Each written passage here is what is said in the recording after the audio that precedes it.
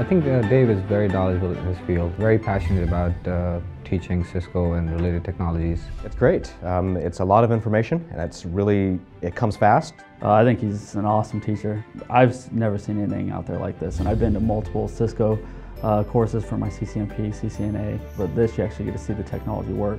So it kind of helps stick it in your brain. He is a genius, to, and um, for lack of better terms. I mean, he knows his stuff and he, he knows how to teach it well. I would highly recommend INE and I will use it for sure for, for other tracks as well. Our sessions are very interactive, uh, always available to answer any questions during the session or offline, so I really like his teaching style.